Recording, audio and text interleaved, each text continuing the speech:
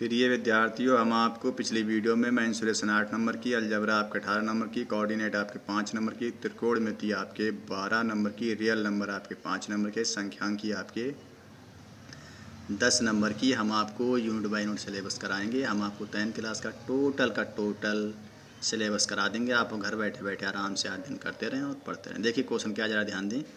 आंकड़ों दो कौमा चार कॉमा छः, कॉमा नौ की माध्यिका ज्ञात करो।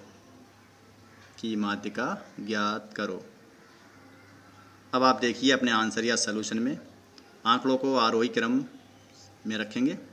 आंकड़ों को आरोही क्रम में रखेंगे। आरोही क्रम क्या होता है आपका बढ़ता हुआ क्रम या बढ़ती हुई संख्याएँ। दो कॉमा, चार कॉमा, छः कॉमा, नौ।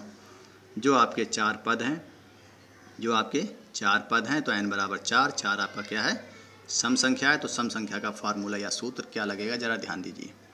जो हमने टिक कर रखा है, ज़रा ध्यान दें, जो हमने टिक कर रखा है, यही आपका फार्मूला है या सूत्र है। ज़रा ध्यान दें आप।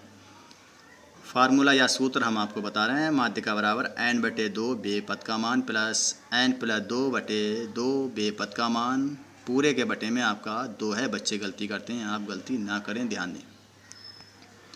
यहाँ पर एन का मान आपका चार है, चार लगाएँगे तो एन बटा दो, जब आप काटेंगे तो दो बे पद का मान प्लस एन में दो जोड़ेंगे तो छः दो से काटेंगे तो दो, तीन छः तीन बे पद का मान। तो ये आपका ये वाला स्टेप बन जाएगा। दो बे पद का मान प्लस तीन बे पद का मान वटे दो। अब यहाँ पर दो बे पद का मान और तीन बे पद का मान आपके आरोही क्रम में क्या है? मतलब कह सकते हैं दूसरा पद और तीसरा पद क्या है आपका दूसरा पद?